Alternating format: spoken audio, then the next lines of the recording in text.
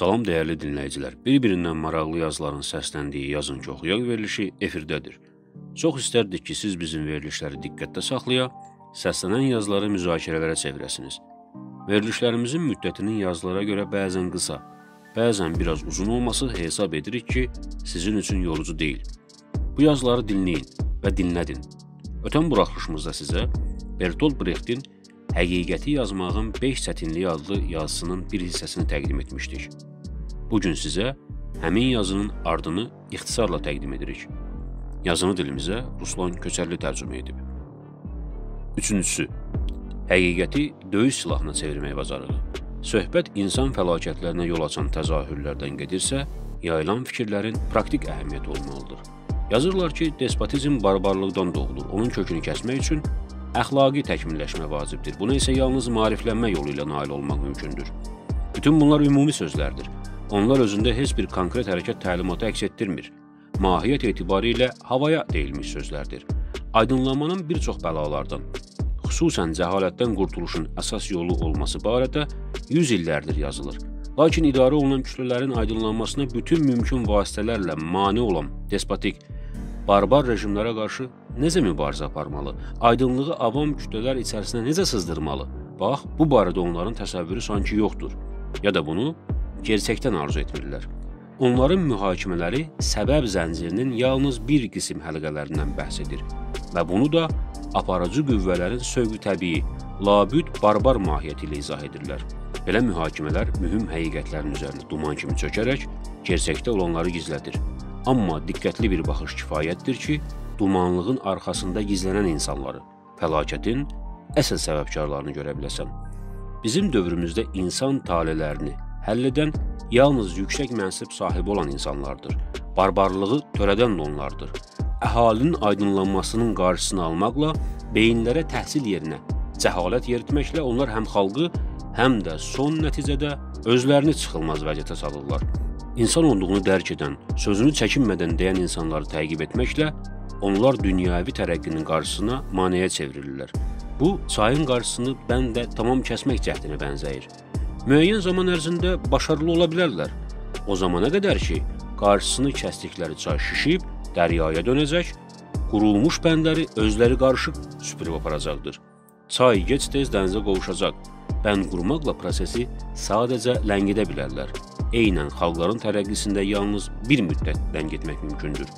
Bununla despotlar həm xalqı dünyəvi tərəqqidən geri salır, həm də öz gələcəyini sual altına qoyurlar.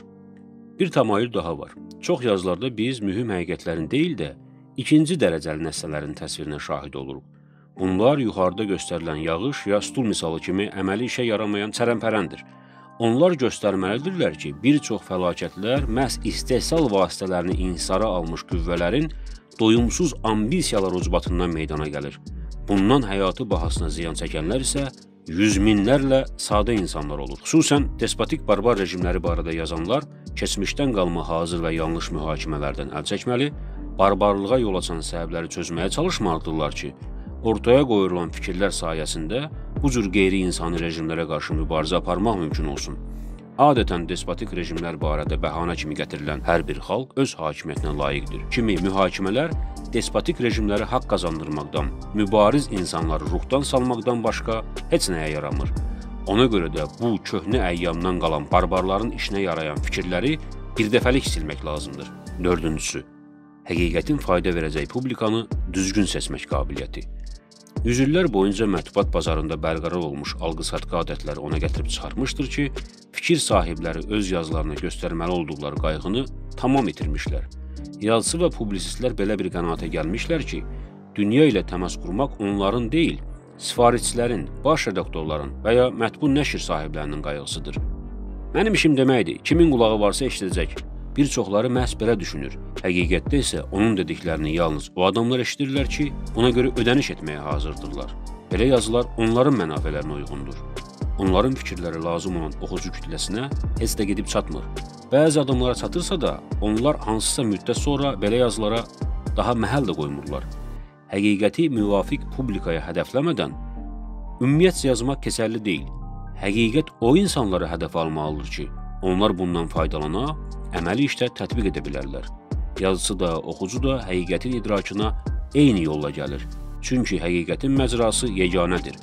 Həqiqəti deyərkən ya dinlərkən konkret məqsəd izlənilməlidir. Biz yazıçılar üçün vacibi odur ki, həqiqəti kimlərə deyirik və onu kimlərdən eşidirik. Dözülməz rejimlər barədə həqiqətlər o adamlara ünvanlanmalıdır ki, mövcud rejim məhz onlar üçün dözülməzdir. Eyni zamanda onları dinləməlisən. Bir çox həqiqətlər məhz belə üzə çıxarılır. Həqiqətin hədəfi təkcə müəyyən əqidəsi olan adamlar deyil, ha belə o adamlar olmalıdır ki, onların əqidəsi yaşadıkları həyat şəraitindən asılı olaraq dəyişə bilir. Oxucuların əqidəsi dəyişməz olaraq qalmır. İnsanlar şəraitdən asılı olaraq dəyişirlər. Hətta cəlladlar da sizə qulaq asacaqlar. Əgər onlara daha əvvəl kimi yaxşı maaş verilmirsə və onlar peşələrinin gələcəkdə öz başlarına bəla olacağını düşünməyə başlamışlarsa. Bavariya kəndliləri həmişə zorakı çevrilişin əleyhinə olmuşdular. Lakin onların müharibədən cana doymuş övladları cəbhədən geri dönüb öz doğma kəndlərində yer tapa bilmədikdə, onları çevrilişin zərurliyinə inandırmaq elə də çətin olmadı. Nəzərə almaq lazımdır ki, despotik rejimlər varlı və orta təbəqənin tam təsir altına almağa çalışmaqla bir tərəfdən onların varlanmasına şərait yaradır, digər tərəfdən əldə etdikləri sərvəti hər an itirmək qorxusu altında onları öz məqsədləri üçün istifadə edir. Buna görə də həmin təbəqələrə çağırışlar etmək çox vaxt nəticəsiz qalır. Orta təbəqə ölkədə baş verən haqsızlıqlardan ola bilsin narahatlıq keçirir. Bu cür rejimlərin sonu görünmədiyindən gələcək üçün təminatlarının olmadıqlarını başa düşürlər. Amma onlar qorxu içindədir. Bir kəlmə yanlış danışıq onları faciə ilə təhdid edir. Buna görə də onlar vəziyyətin hələlik dəyişməz qalmasına daha çox maraq göstərirlər. Yekun nəticə etibarilə əhalinin az qisminin çoxluğa qarşı alət kimi istifadə olunduğu bir sistem formalaşır. Həqiqəti yazan lazımi tonu tutmağı bacarmalıdır. Adətən həqiqətləri hüzünlü və mərhəmətli tonla yazırlar. Oxucuya elə görünür ki, bunları yazan adam bir qarışqanı da qəsdən tapdalamayacaq qədər insaf sahibidir. Belə yazıları oxuyanlar daha dərin bədbinliyə qapılır. Bu tip yazarlar çox güman düşmən deyillər, lakin onların silahdaş olmadıqları da aşkardır. Həqiqət çılğın, döyüşkən olmalı, yenilməz görünməlidir. Yalan buludlarını parça-parça edən şimşək kimi çaxmalıdır. Onları dinləyən və ya oxuyan adamlara ruh, ümid, əzmkarlıq aşılamalıdır. Həqiqət təkcə yalan deyil, yalan danışanları da darmadağın etməlidir. Həqiqət həm də cəlbedici olmalıdır. Dillərə düşməli, kitab, qəzet oxumayan adamların da qapısını döyməlidir. Volter mövhumata qarşı məhz belə mübarizə aparırdı. Onun xırda həcmli, maraqlı nəzm və nəsr əsərləri dillərdə dolaşırdı. Beləliklə gəlirik vacib məsələyə. 5-incisi həqiqəti yaymağa gərək olan ustalıq. Həqiqət yazarı öz cəsarəti ilə fəxr edir həqiqəti dərk etmək nailiyyəti onu məsul edib. O bəlkə də həqiqəti döyüş silahını çevirmək üçün çəkdiyi əziyyətdən bezib və öz zəhmətinin bəhrəsini görmək üçün maraqları uğrunda mübarizə apardığı adamların bu silahdan nə vaxt istifadə edəcəyini səbirsizliklə gözləyir. Ancaq burada daha bir məqam qalır. Həqiqət lazım olan ünvanlara gedib çatmışdırmı?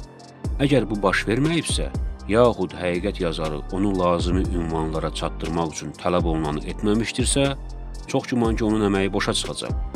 Əsrlər boyu həqiqət carçıları onun yayılmasını əngəlləyən sədlərdən yan keçmək üçün müxtəlif hiylələrdən istifadə etmişlər. Məsələn, öz məqsədinə nail olmaq üçün Konfutsi vətənpərvərlik təqvimində dəyişikliklər etmiş, tarixi hadisələrin təsvirində bəzi sözləri əvəzləmişdi. O yerdə ki deyilirdi, hökmdar Kun filosof Vanı fikirlərinə görə edam etdirmişdir. Konfutsi burada edam etdirmişdir sözünün əvəzinə öldürtmüşdür yazırdı. O yerdə ki hansısa tiranın qiyamçılar tərəfindən öldürülməsindən danışılırdı. Burada öldürmüşlər sözünü edam edilmişlər sözü ilə əvəz edirdi. Bununla Konfutsi tarixin yeni, doğru idrakına yol açırdı. Söz və şüarların düzgün seçilməsinin mühüm əhəmiyyəti var. Müxtəlif ictimai prosesləri təsvir etmək üçün hakim təbəqələr mistik qabığa bürünmüş, gerçəkliyi düzgün əks etdirməyən, yaxud yanlış, özlərinə sərfəli mənalandırılan sözlərə üstünlük verirlər. Belə konstruksiyaları dağıtmaq həqiqət yazarlarının borcudur. Sözlər təfəkkür assosiasiyalarının açarlarıdır. Yanlışa da, doğruya da rəvac verən sözlərdir. Konfutsi hikməti tarixdəki təhriflərin aradan qaldırılması. Günümüzdə də bütünlüklə keçərlidir.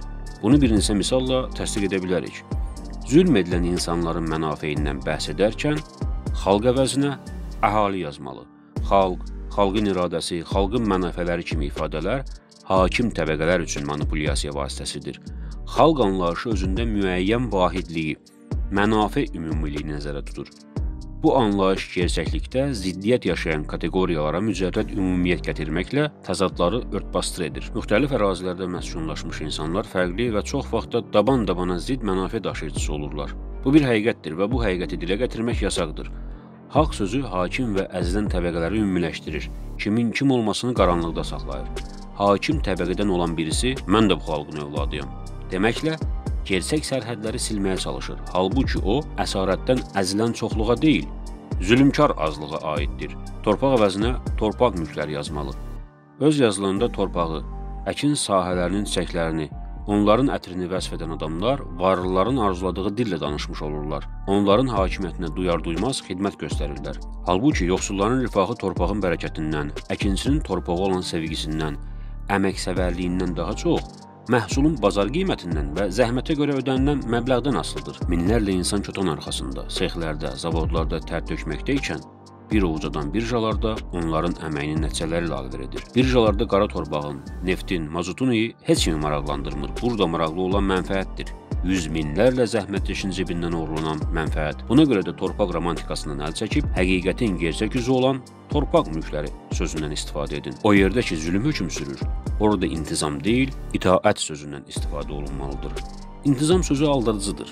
O zülmkarı görünməz saxlayır, hüquqla tələb olunan ümumi mənafəyə xidmət edən nəcib zərurət təsiri bağışlayır. Halbuki belə deyil. Konkret zümrələrin mənafələrindən bəhs edərkən xalqın şərəfi deyil, insan ləyaqəti ifadəsinə üstünlük verin. Şərəf insana, şəxsiyyətə kənardan verilən qiymətdir. Ləyaqət isə insanın öz gözündə özünə verdiyi dəyərdir. Xalqın şərəfi mücərrəd ümumiləşməyə səbəb olur. Bu anlayış altında ayrıca insan itirilir. Ayrıca insan bu anlayışda özünü görə bilmir. Halbuki xalqın şərəfi ayrıca fərdlərin ləyaqətindən başlayır. Şəxsiyyətlərin ləyaqəti tapdanan yerdə xalqın şərəfi ola bilməz. Jonathan Swift öz pamfletlərindən birində təklif edir ki, yoxsulların uşaqlarını öldürüb doğramaq, ətini duzlayıb küpələrə yığmaq və satışa çıxarmaq lazımdır. Bununla həm yoxsulluğun qarşısını bir dəfəlik almaq, həm də ölkəni inkişaf etdirmək olar. O, bu işdən gələcək mənfəəti də dəqiqliklə hesablayır və tövsiyə edir ki, təklifi mütləq həyata keçirmək lazımdır. Heç nəyə məhəl qoymadan. Aydındır ki, burada Swift özünü bilərəkdən axmaq yerinə qoyub. Amma oxuyanlar başa düşürdü onun nə demək istədiyini. Yoxsul uşaqlarını lazımsız döyüşlərdə aparıb qırdırmaq Swift-in verdiyi təklifdə olunan qətl üsulundan nəticə etibarilə fərqlənmir. Sadəcə Swift yoxsullara agah edir ki, xəbəriniz olsun, ölkəyə çarəsiz aclıq üz versə, varlılar hətta sizin balalarınızı kəsib yeyəcək qədər əclaftırlar. Əsarətə qarşı təbliğat hansı üslubda aparılmasından asılı olmayaraq zülmə məruz qalanların mübarizə formulları baxımından yararlıdır. Təbliğat şuurlara təsir göstərməyin əsas vasitəsidir. Şuurlarda müvafiq oyanış olmadan hərəkat mümkün deyil. Hökumətlər insanları zülmə məruz qoyduğu bütün halları xüsusi təbliğatla pərdələməyə, bunun əslində zülm olmadığını, xalqın iradəsinə uyğun olduğunu, gələcək nəsillər qarşısında borc olduğunu və s. söyləməklə gerçək niyyətlərini gizlətməyə çalışırlar.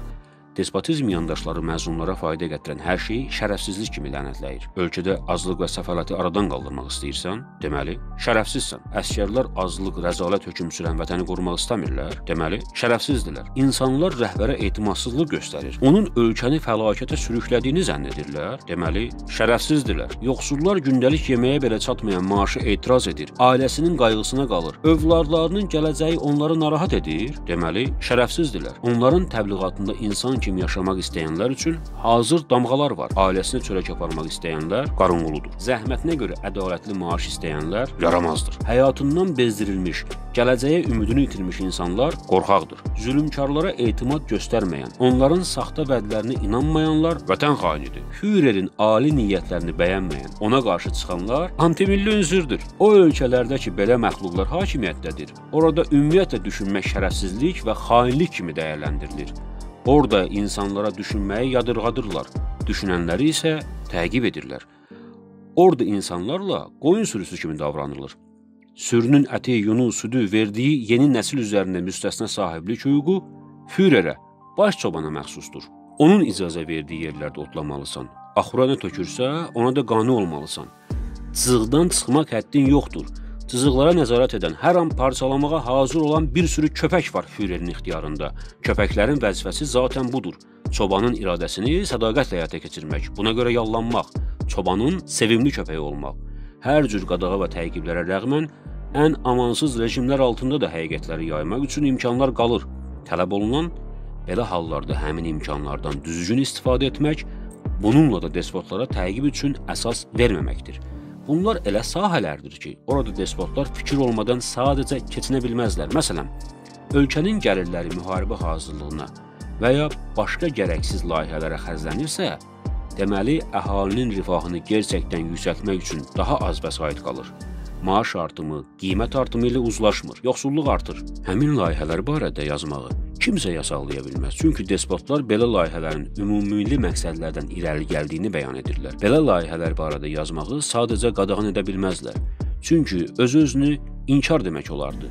İsrafçı layihələr barədə yazmaqla mühüm həqiqətləri ustalıqla bəyan etmək mümkündür. Xüsusən həmin layihələrə aşırı pul sərfiyyatı ona səbəb olur ki, hökumət sosial xərcləri ixtisar etmək məcburiyyətində qalır. Əhali gəlirləri az olduqda gündəlik ərzaq, dərman, geyim və başqa tələbatları keyfiyyətli təmin etmək mümkünsüzləşir. Buna görə bazarlar ucuz və keyfiyyətsiz ərzaq, dərman, geyim və başqa istehlak məhsulları ilə doldurulur ki, əhali gəlirləri ucuz və keyfiyyətsiz əksər hallarda da sağlamlıq üçün zərərli malları əldə etməyə yetərli olsun. Belə halları israfçı layihələrlə əlaqələndirmək və bunun da fonunda əsl həqiqətləri bəyan etmək üçün imkanlar açılır. Əsas məsələ yazını senzuradan xilas etmək, onun yayılmasına yaradılacaq əngəllərdən yan keçmək, həqiqətləri geniş kütlələrə çatdırmaqdır. İnsanlar belə layihələrin iflasa apardığını düşdükləri ağır maddi durumun məhz belə israfçılıq ucbatından baş verdiyini yetərincə dərk etmirlər. Avam insanların düşüncələri belədir ki, öz problemlərində daha çox özünü günahlandırmağa meyllidirlər. Başına gələn fəciələrin qəzavi qədər, bəxtsizlik, qismət, taley yaxud əvvəldən düz yol tutmaması, öz əli ilə öz başına iş açması kimi qəbul edirlər. Buna görə insanlara anladılmalıdır ki, problemlərin səbəbi hansısa mistik təzahürlər yox, ölkədə inhisarçılıq ucbatından fürsətlərin qapanması, gəlirlərin inhisarçı bir qrupun əlində təmərküzləşməsi, büdcə gəlirlərinin israfçı layihələrə xərclənməsidir. Despotik rejim yandaşlarının əsas vəzifələrindən biri ölkədə sabitlik olmasından, qazanılmış uğurlardan danışmaq, bunu rəqəmlərlə isbatlamağa çalışmaqdır. Rəqəmlər əksər hallarda saxta olur və deməli gerçəkliyə əsaslanmır. Onların bəyan etdiyi rəqəmlər silsiləsini asanca ifşa etmək mümkündür.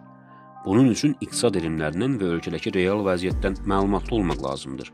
Rejim ideoloqlarının sabitlik kimi qələmə verdiyi vəziyyət əslində sabitlik deyil, durğunluqdur. Onlar rəqəm oyunları ilə kütləvi şura uyuşdurucu təsir göstərməyi hədəfləyirlər. Dırnaqarası inkişaf göstəricilərinin ildən ilə yüksəldiyini göstərən rəqəmlər əhalidə gələcəkdə hər şeyin yaxşı olacağı barədə əsassız ümid aşılamağa hesablanıb. Riyazi göstəricilər heç nə ilə müqayisə olunmayan təsir gücündədir. Savadsız adamlar da riyaziyyatdan daha dəqiq heç nəyin olmadığını bilirlər. Buna görə həqiqət yazarlarının ümdə vəzifəsi hökumətin saxta göstəricilərini möhkəm dəlillərlə, aşkar riyazi üsullarla hamı üçün başa düşülən sadə hesablama və müqayisələrlə ifşa etməkdir. Əhalinin sadəcə cüzi qisminin çoxlu üzərində istismarına əsaslanan bütün despotik rejimləri ayaqda saxlamağın başlıca üsulu həyatın bütün sahələrini əhatə edən dünya görüşünün mövcud olmasıdır. Adətən cəhalətə və elmsizliyə dayanan belə sistemlər xüsusi ideologiyalarla, yerli adət-ənənələrlə, dinin gücü ilə möhkəmləndirilir. Əzilən kütlələrin elmi nailiyyətlərdən xəbərdar olması istismarçılar üçün tale yüklü təhlükə mənbəyidir. Despotik rejimlər dünyəvi təhsillə bir araya sığmaz olduğundan, onlar dünya elminin inkişafının seyircilərinə çevrilir, bununla öz ölkəsinə sakin olan insanların da özünə elm qapılarını bağlayırlar. Onlar dünya elminə əməli töhfə vermir. Bəzi töhfələr isə ayrı-ayrı adamların fədakarlığı sayəsində olur. Vaxtilə dözülməz vəziyyət üzündən ölkəsini tərk etmiş və xaricdə elmi nailiyyətləri ilə məşhurlaşmış adamları despotik rejimlər arsızca öz ölkələrinin elmə töhfəsi kimi təbliğ edirlər. Amma çoxları da ağlına gətirmir ki, həmin adamlar vaxtilə ölkəni tərk etmiş olmasaydılar, onlara hansı aqibət gözləyirdi? Əgər bir adam vaxtilə ölkədən baş götürüb qaçmış və bunun sayəsində özünü realizə edib dünya elminə töhfə verə bilmişdirsə, bu artıq qaçaq düşülmüş cəmiyyətin deyil, sığınacaq olmuş cəmiyyətin nailiyyətidir. Elm sürətlə inkişaf edir. Cəmiyyətdəki bütün təsisatların yenilənməsini, həyat tərzinin ona uyğunlaşmasını tələb edir. Dəyişikliklər despotik rejimlər və xüsusən rejimin sayəsində varlanmış istismarçı təbəqə üçün arzu olunan deyil. Onlar idarə edilənlərin kör istehlakçı kimi qalmasında maraqlıdırlar. Köhnə qaydalar onları tamamilə qane edir. Qoy hər şey ən azı min ərzində dəyişməz qalsın. Daha yaxşı olar ki, yer öz oxu ətrafında hərəkətini dayandırsın. Onda heç vaxt axşam və səhər olmaz. Deməli kimsə səhər ya axşam yeməyi də tələb etməz. Sutkada bir dəfə yemək yoxsulların bəsidir. Onların fikrincə. Əksər despotik rejimlər xalqları əsarətdə saxlamaq üçün onların bəlli yoxsulluq səviyyəsində qalmasında maraqlıdır. Fəhlə, qulluqçu və digər çoxsaylı kateqoriya işçilərə ödənilən aylıq maaşlar onların dolanışığına güclə çatır. Məlumdur ki, normal əmək haqqı olanda insanlar aylıq xərclərindən qənaət edərək ehtiyat toplayırlar. Müəyyən ehtiyatın olması o deməkdir ki, bu insanlar işdən qovulduqda və ya dözülməz tələblərə boyun əyməyərək işdən özü çıxdıqda növbəti iş yeri tapanadək ən azından bir neçə ay dolanmaq üçün ehtiyata malik olurlar. Belə bir ehtiyat olmadıqda isə onlar qəddar şərtlər altında işi davam etdirməyə məcbur qalırlar. Belə adamların işlərini itirməsi özləri və ailələri üçün real aclıq təhlükəsi yaradır. Buna görə əhali çoxluğunu təşkil edən yoxsul insanlar işlərini itirməmək üçün hər cür rəzalətə qatlaşırlar. Despotik rejimlərin köhnə qaydalara arxalanması və buna görə labüdün elmdən uzaq düşməsi elm sahələrini həqiqət yazarları üçün döyüş meydanına çevirir. Cəmiyyətlərin aydınlanması baxımından aşılmalı olan ölü sədd var. Despotik rejimlər xalqın bu səddi aşmasına imkan vermirlər. Səddi aşmaq üçün insanları dünyanın dəyişən olmasına, hər şeyin o cümlədən adət-ənənələrin, əxlaqın yeniləşməyə məhkum olduğuna inandırmaqla başlamalıdır. Onlar anlamalıdır ki, bu gün qarşısında özlərini gücsüz hesab etdiyi rejimlər heç də həmişə güclü olmayacaqlar. Bugünün qalibi sabahın məğlubudur. Zaman istənilən tiraniyanın gücünü tükədir. Bu həqiqəti Utkal Kato 2000 il əvvəl söyləmişdir. Əsrlər boyunca insanların şuurunda kök salmış, nəsildən nəslə ötürülən yalanlara yalnız ustalıqla, danılmaz faktlarla, inkarı mümkün olmayan aydın məntiqlə qalib gəlmək olar.